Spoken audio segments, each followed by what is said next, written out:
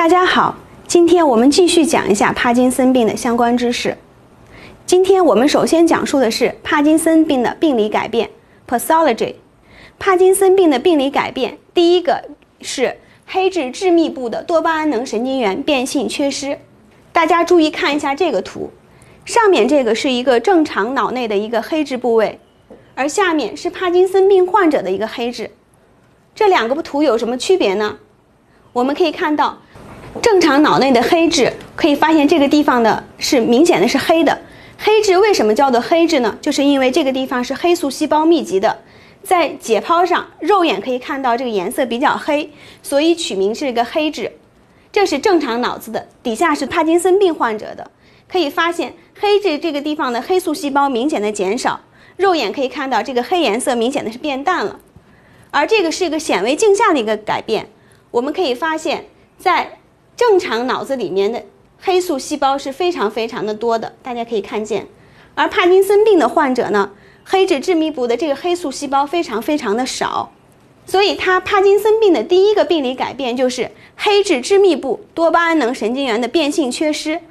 当多巴胺能神经元丢失百分之五十以上的时候，才出现了帕金森病的症状。当症状明显时，神经元丢失的是非常严重的。而且残留的神经元变性，黑色素减少，这是帕金森病的第一个病理改变。第二个病理改变呢，就是出现了路易体。路易体它出现的部位是在黑质多巴胺能神经元胞浆内，它是一个胞浆内的嗜酸性包含体。路易体里面有很多很多的蛋白质成分，最重要的一个蛋白质成分就是阿尔法突触核蛋白，也就是我们刚才所说的。阿尔法 C 纽克林基因所编码的那种蛋白质，综上，它的病理改变主要有两点：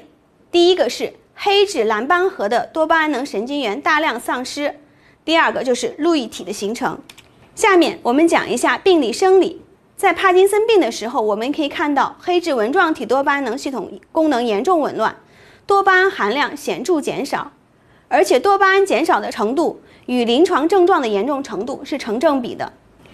对于生化病理的这个发现过程，我们大概有一个回顾。一九五八年，瑞典的一个科学家叫做卡尔森，他确定了兔子脑子里面是含有多巴胺的，而且这种多巴胺地质主要存在于纹状体中。五九年，他的学生进一步发现，在狗的脑子中也含有多巴胺的，所以他们就提出了一个科学假设，就是多巴胺是脑内重要的神经递质。主要存在于纹状体中，可能参与运动功能的调节。在一九六零年，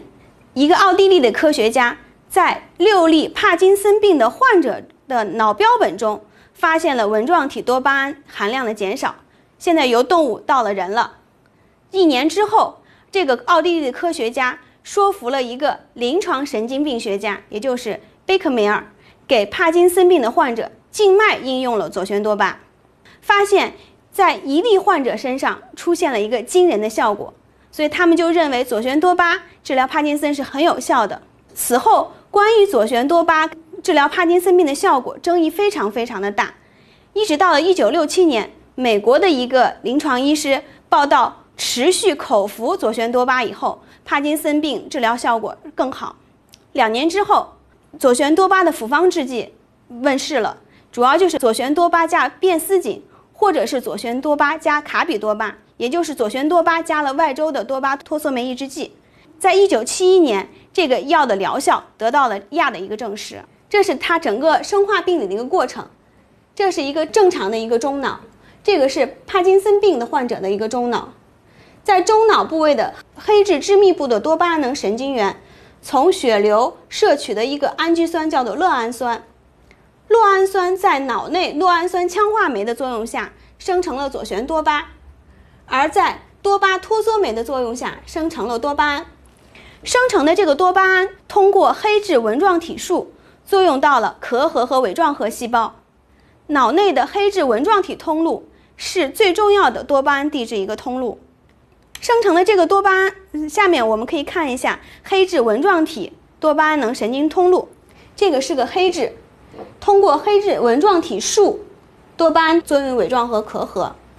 生成的多巴胺最后被单胺氧化酶和儿茶酚氧胃甲基转移酶分解成了高香草酸。这是它的整个一个生化代谢的一个过程。在脑内，多巴胺是一种神经递质，除此之外，还有一种神经递质叫做乙酰胆碱。这两种神经递质是纹状体内最重要的两种神经递质，两个的功能是互相拮抗的。对于运动系统而言，多巴胺是兴奋性递质，而乙酰胆碱是抑制性递质。在正常人体中，多巴胺和乙酰胆碱它是处于一个平衡状态，而在帕金森病的患者中，多巴胺和乙酰胆碱这个平衡状态失衡了，多巴胺相对较少，而乙酰胆碱相对较多，从而产生了帕金森病的临床症状。关于脑内多巴胺这个神经递质的这个发现史，获得了诺贝尔奖。瑞典的卡尔森因为发现了多巴胺信号转导功能以及它在控制运动中的作用。成为两千年的诺贝尔医学奖的三个得主之一。他的研究使人们认识到了大脑特定部位多巴胺缺乏可以导致帕金森病，并推动了该病治疗药物的研制。这个就是卡尔森，非常伟大的一个科学家。今天我们就讲到这里，再见。